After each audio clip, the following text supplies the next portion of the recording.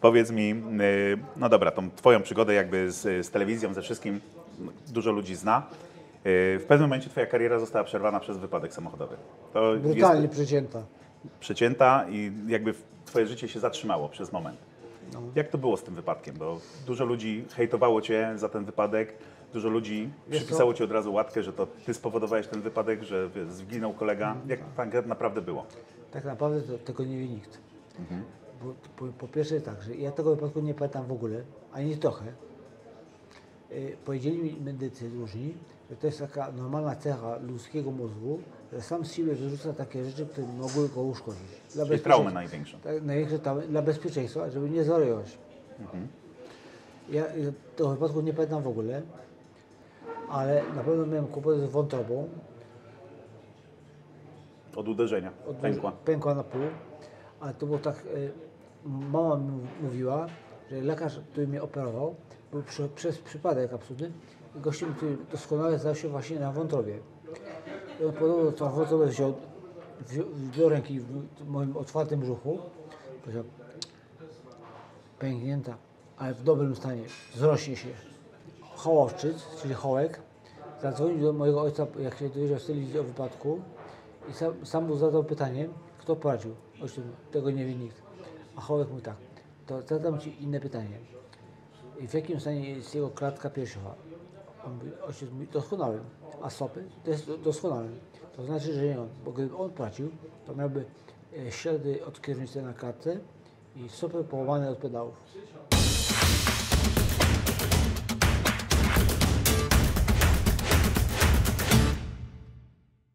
Dzień dobry, nazywam się Wojciech Godoński, witam na moim kanale Kopalnia Sukcesu. Dziś moim gościem jest Maciej Ziętarski. Cześć Maćko. Cześć, witam. Dziękuję pięknie, że zgodziłeś się dzisiaj na wywiad. A to e, dziękuję, że mnie zaprosiłeś. Jeżeli byście nie znali Maćka, bo w tej chwili przez parę latek Maciek nie uczestniczył za dużo w mediach, ale jest cały czas aktywny. Maciek jest dziennikarzem motoryzacyjnym. Byłem dziennikarzem. Byłym dziennikarzem, no cały czas masz w Ale tej cały chwili... czas staram się walczyć. Tak. E, właśnie, chciałem z Tobą porozmawiać o Twojej karierze. Jak to wszystko wyglądało, bo y, znamy jakby Twoją historię do wypadku. Bo Do- miałeś wypadek taki znany, bardzo wypadek, który był w Do, Warszawie. do, do wypadku ja też znam. Mhm. Wypadku nie znam w ogóle. A po wypadku kariera, No tak, wiesz, troszeczkę zmieniło się Twoje życie. wszystko się zmieniło. E, powiedz mi, no bo jesteś znany jakby z motoryzacji. Prowadziłeś wiele programów, nawet z tatą swoim, z którym też Pa- miałem przyjemność. Pasjonaci. Pasjonaci motoryzacji. Jak to się zaczęło, powiedz mi, z tą motoryzacją waszą? Czy jak od urodzenia miałeś, miałeś kontakt z Gen, motoryzacją? genetycznie. Dostałem Gene- prezent genetyczny. Czyli po tacie. Po tacie. Tata się zawsze interesował jakimiś samochodami, jakimiś motocyklami. Tylko i wyłącznie. I to mi przekazał. Mhm. I to mi tak zostało. Ty- Tylko to. No ale co, yy, dłubałeś przy samochodach jakiś coś? Oczywiście, że tak. Naprawiałeś, starałeś się coś naprawiać? Z przyjemnością. Mhm. To, to uwielbiałem. A kim ty jesteś z zawodu, powiedz mi? Poszedłeś do jakiejś szkoły motoryzacyjnej w końcu? Nie, ja powiem Ci szczerze, ja zrobiłem y, szkołę telewi- te- operatorki telewizyjnej. Czyli nietypowo, nie szedłeś w motoryzację. Nie. Mam, y, skończyłem szkołę właśnie do pracy z kamerą.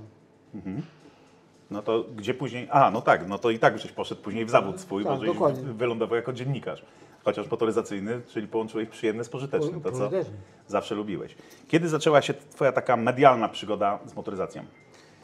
Od programu, który się nazywał MMM, czyli Mhm. magazyn motoryzacyjny młodych. Bo wcześniej to było tak, że ja pomagałem ojcu robić jego programy. Ja jeździłem z nim na zdjęcia, bo mnie to interesowało. Robiłem, y, czasami brałem, zabierałem mu kamerę, on mnie uczył robić zdjęcia, ja mu robiłem zdjęcia też często. I potem było tak, że z, z, w Polsacie powstał program MMM, który miałem robić tylko ja, z moim kolegą Maćkiem Pruszyńskim, czyli Siwym, i z Maćkiem Chybowskim, starszym, dlatego MMM, bo magazyn motoryzacyjny młodych i magazyn Trzech Maćków. Aha. I o czym to było? Co, co robiliście w tym programie? Mo- Samochody tylko. No i co było dalej? Bo tych programów telewizyjnych przerobiłeś kilka. Nawet miałeś taki program, z tego co pamiętam, że z tatą prowadziłeś ten program. Najpierw był VMAX, Mhm. O, taki znany program właśnie, VMAX? VMAX. Ja właśnie VMAX oglądałem. no. nazwa oczywiście od, od, Szybkości. od, Czy od motocykla? ale Bardziej od motocykla. Mhm. Yamaha VMAX. Yamaha, ten kiedyś miałem. Uwielbiałem ten motor. Ja zawsze chciałem mieć, ale nie miałem. To cudowny motor bez sensu, ale cudowny. No teraz wchodzi nowy model w ogóle i tak się może do niego będę przymierzał. Ale motor się kompletnie do niczego nie nadawał, ale był genialny. Powiedz mi, A po, potem, bo, potem w Famaxie, e, nie, Famax dojechał do wypadku. Pa, z ojcem Pasjonaci, czyli też motoryzacyjny kanał. bardzo też e, często pracowałem z gazetami, pisałem artykuły do na przykład motomagazynu, Czyli byłeś cały czas kojarzony z motoryzacją. Ca- tylko. Ale powiem Ci tak, z gastronomią na tym się słabo znam. No tak, ale ja Cię nauczę, spokojnie. To już to teraz będziesz miał przygodę z gastronomią. Mogę, mogę zacząć. Mogę być testerem. Okej, będziesz testerem w naszych restauracjach. Powiedz mi, yy, no dobra, tą Twoją przygodę jakby z, z telewizją, ze wszystkim dużo ludzi zna. Yy, w pewnym momencie Twoja kariera została przerwana przez wypadek samochodowy. To Brutalnie jest przecięta. przecięta i jakby Twoje życie się zatrzymało przez moment. No. Jak to było z tym wypadkiem? Bo dużo ludzi hejtowało Cię za ten wypadek, dużo ludzi Wiesz przypisało Ci od razu łatkę, że to Ty spowodowałeś ten wypadek, że wiesz, zginął kolega. Jak tak naprawdę było? Tak naprawdę to, tego nie wie nikt. Bo, po, po pierwsze tak, że ja tego wypadku nie pamiętam w ogóle, ani trochę. Yy, powiedzieli mi medycy różni, że to jest taka normalna cecha ludzkiego mózgu, sam z siebie wyrzuca takie rzeczy, które mogły go uszkodzić. Dla Czyli traumę największą. Tak, największe traumy dla bezpieczeństwa, żeby nie zwariować. Ja ja tego wypadku nie pamiętam w ogóle. Y, Tyle tylko, że y, coś mi tam w głowie zostało po nim, bo mi się zawsze, często bardzo on śni. Mi się śni zawsze, siedzę jak na fotelu pasażera, patrzę na Jarka i myślę, oj, z tego poś- poślizgu on nie wyjdzie. I budzi mnie uderzenie filara. Powiedz, że się w poślizg wpadli, tak? Tak. To było, co to, Ferrarą jakieś Ferrari, tak? ja, szczerze mówiąc, z tego co y, czytałem w danych y, policyjnych, nas chyba odwróci, obróciło i uderzyliśmy tyłem. Chyba, chyba. Bo ty wypadłeś z samochodu. Tak. Bo nie, Ja widziałem zdjęcia z tego wypadku, ten samochód się zapalił. I tylko to cię uratowało, że wypadłeś z tego auta. Tak. Mhm. E, powiedz mi, co ci się tak naprawdę stało w tym wypadku?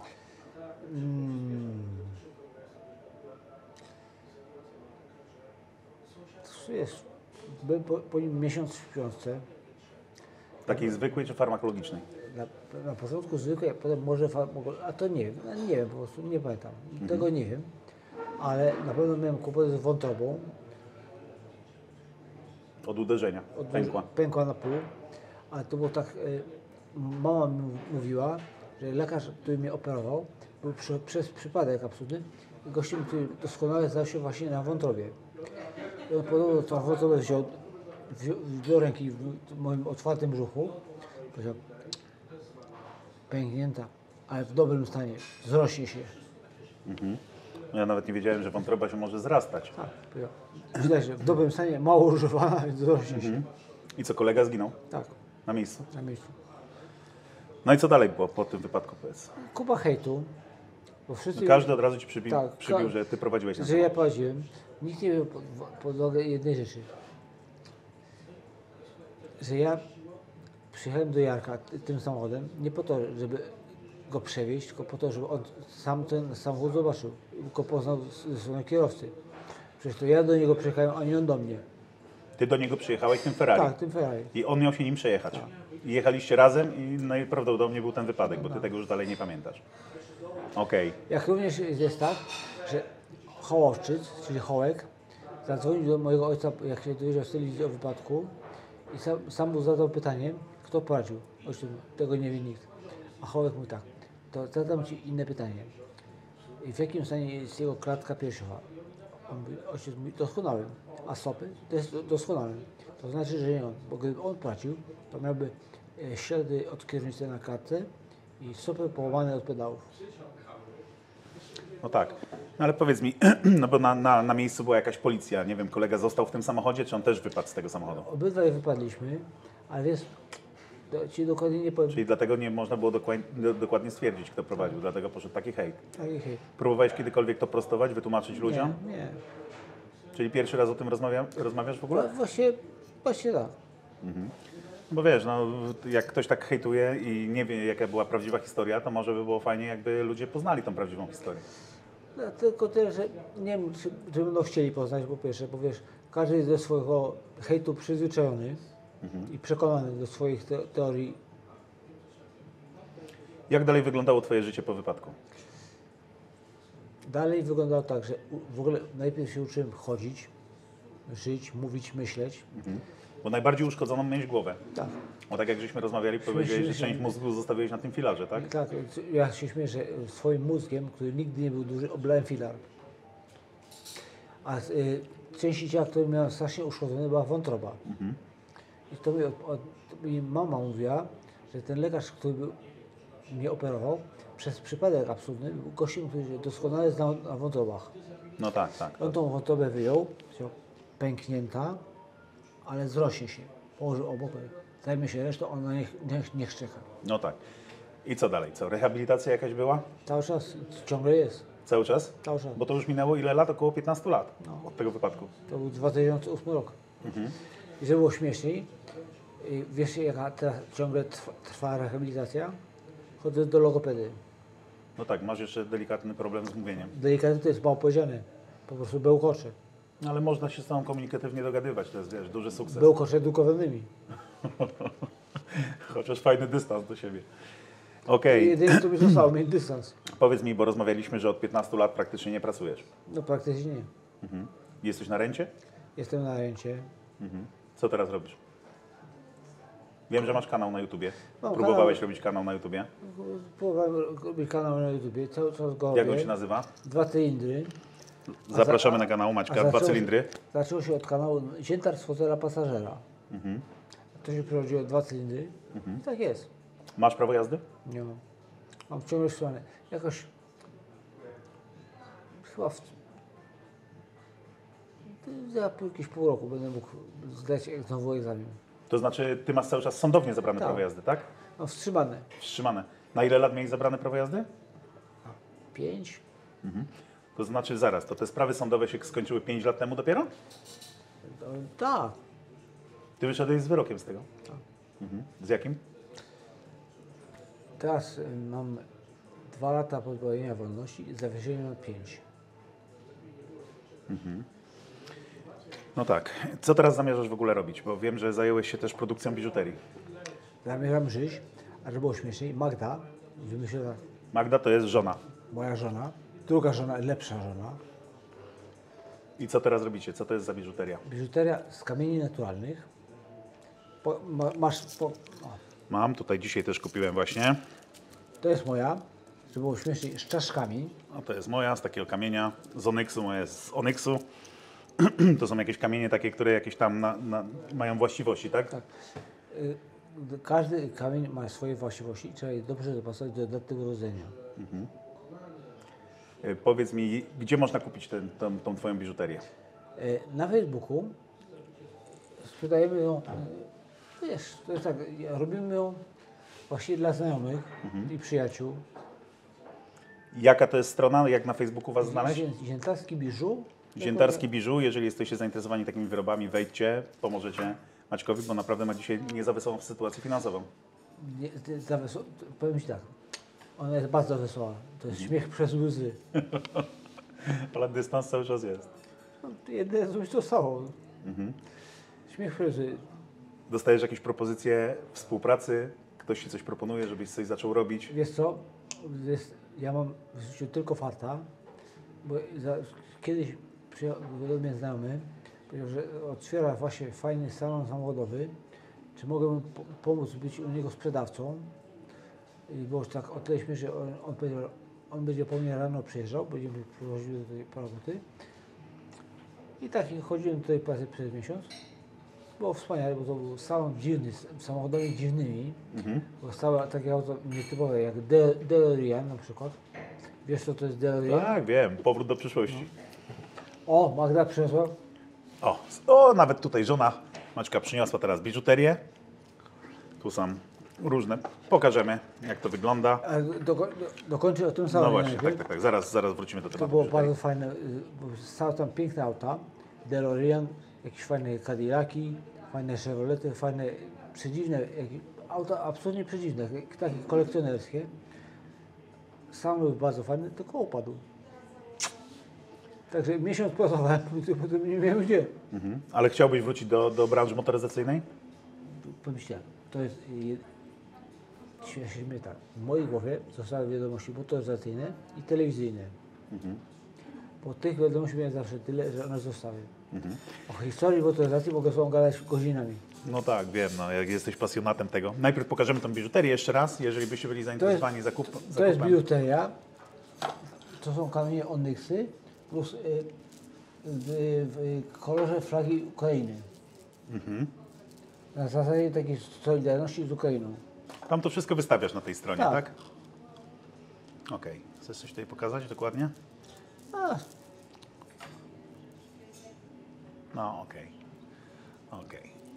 Także zainteresowanych zapraszamy na Facebooka. Na pewno pomożecie finansowo. Dobra, to na razie odłożymy i rozmawiamy sobie dalej. A powiedz mi, bo kiedyś to nie był twój pierwszy wypadek. Miałeś wcześniej wypadek motocyklowy. Motocyklowy, Wyszedłeś z niego bez szwanku całkowicie? bez znaczy, z małym szwankiem, z, y, takim, bo a tu facet zjechał mi drogę, on we mnie wjechał y, i mnie uderzył w moim cudownym motocyklu, japo, pierwszym moim japońskim motorze, Czym jechałeś? Hondą CB794, tak zwaną furką. On we mnie uderzył. Nie jechałeś szybko?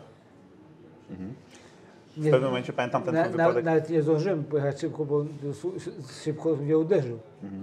Pamiętam ten twój I- wypadek, ludzie opowiadali historię, że jechaliście ponad dwie stówy. To jest możliwe? To w Ferrari, No. w tym miejscu, pewnie nie. A czemu straciliście przyczepność? Co się stało? Tam Mokro był, tam był garb jakiś, który nas, y, y, ten samochód się uniósł, a potem y, do mojego ojca zadzwonił mechanik samochodowy, który powiedział tak, że on to auto składał i on y, właścicielowi mówił, że ono się nie nadaje do jazdy. On ma jakiś błąd w zawieszeniu, który trzeba naprawić. To I ktoś się- to zlekceważył i ten Tak, samochód y, przeszedł normalnie tak. przegląd i Tak, został on, on było, ono było niesterowne Mhm. i to właśnie było przyczyna wypadku. Ale też podobno w tym miejscu było już kilka wypadków przed tobą. No tak, tak, i, i potem chyba, a po, po tym naszym wypadku ten garb y, zlikwidowali, wyprofowali. Mhm. Czyli ten gard podbijał jakby Tak. samochody, a że, dosyć, że, że było dosyć ślisko, no to wtedy was obróciło i wyrżnęliście w ten, w ten filar. No pewnie tak, a to ty wiesz lepiej widzę. Nie, no nie wiem, ja to wiesz, też tylko wiem To z, pra, z prasy, z opowieści jakichś, no z tego, ja wiesz, też jak przez mgłę pamiętam ten twój wypadek. Pamiętam, że byłem bardzo zainteresowany, bo też jestem pasjonatem motoryzacji. Moje pierwsze biznesy wy, wy, wy, wywodziły się z motoryzacji. Też miałem sieć komisów samochodowych, także od dzieciaka w zasadzie podobnie jak ty śledziłem całą to, tam, motoryzację. tam w klubie. Tak, miałem też wywiad z Twoim tatą, też mieliśmy o czym rozmawiać. Yy, także no, mamy podobne zainteresowania. No, w tej chwili a przy okazji gaduła. tak, gaduła, fajnie się rozmawiało. Yy, powiedz mi teraz tak, co teraz, jakie masz plany na najbliższą przyszłość? Planujesz Żyć. coś? Wiesz co ja mogę planować? Moja babcia w świętej pamięci zawsze mówiła tak, jeżeli chcesz ośmieszyć Pana Boga, opowiedz mu o swoich planach. No bardzo mądre przysłowie, faktycznie. Dostajesz w tej chwili jakieś propozycje w ogóle współpracy, bo żeśmy nie dokończyli tego tematu? Nie. No jeżeli macie jakiś pomysł tutaj na Maćka, jeżeli, nie wiem, macie jakąś firmę motoryzacyjną, byście chcieli, żeby on tam się u Was gdzieś odnalazł, to dajcie znać. Jak można się z Tobą skontaktować, jakby ktoś chciał Cię jakoś zatrudnić co, przez. Facebooka? Najprościej przez Facebooka. Instagram też masz jakiś? Mam, mam Instagram, mam TikToka, mam Facebooka. Ostatnio mam wszystko. Y, Jak, jak Cię znaleźć na Facebooku? Ziętarski, Maciej? Macie Priv. taki priv na przykład. Mhm. Także jak coś, jeżeli jesteście zainteresowani, piszcie. Od, odpowiem. Okej, powiedz mi jeszcze, y, jakimi samochodami jeździłeś w swoim życiu? Wszystkimi. Najszybsze? Wiesz co? Ja całe życie kochałem auta amerykańskie, Mhm. dlatego że one właśnie nie były szybkie. Bo to były auta, które się do szybkiej jazdy nie dawały. Ja nigdy nie lubiłem szybkości. Zawsze kochałem auta, które mają charakter, mają swój styl, Mhm. niech nie są szybkie, bo szybkość nie daje ci frajdy. Najbardziej jaki samochód Ci się podobał? Czym, czym najlepiej Ci się jeździło? Z tych moich mm, różne były auta, mm, ale tak najbardziej Numer jeden. Cadillac, Seville, STS? Nie poprzedni model. Taki pierwszy Cadillac Seville z takim ściętym tyłem, jak Czyli stary jakiś. No tak, to były samochody z duszą. Ale Miały- kiedyś też miałem takiego Cadillaca. Sevilla STS-a przez moment. A to już, no, to już nowizna. No tak, tak, no ale też komfortowe, bardzo fajne samochody na tamte lata. A ten Cadillac był śmieszny, bo to jak patrzę na auto amerykańskie, ten mój Cadillac miał silnik e, 4 litry V8 przodu i miał przedni napęd. Niesamowite. Powiedz mi, za pół roku mówisz, że mija Ci ten okres, gdzie będziesz mógł starać się o prawo jazdy. Będziesz musiał- robił? Bo, oczywiście że tak, będę musiał zdać egzamin. i- Nie będziesz miał traumy przed, przed tym, żeby wsiąść do samochodu? Nie boisz się, nie zostało nic w głowie takiego traumatycznego? Broń Boże, to, to jest coś, czego mi tak bardzo brakuje. No słuchaj, dziękuję Ci pięknie za dzisiejszy wywiad. Yy, Mam nadzieję, że będziemy Cię teraz częściej wi- widywać w mediach i że wrócisz jakby tutaj do swojego zawodu i do swojej pasji motoryzacyjnej. Dzięki piękne. Dziękuję pięknie za, yy, Ja dziękuję. za obejrzenie dzisiejszego odcinka. Proszę Was, nie hejtujcie, yy, bo Albo nie ma hejtujcie. sensu. Ja, ja, ja jestem przywykły. Dziękujemy za obejrzenie tego odcinka. Jeżeli odcinek Wam się spodobał, dajcie łapkę w górę i zostawcie subskrypcję. I w miarę możliwości, jeżeli możecie, udostępniajcie ten materiał, żeby miał większy zasięg. Dziękujemy pięknie, pozdrawiamy. Dzięki.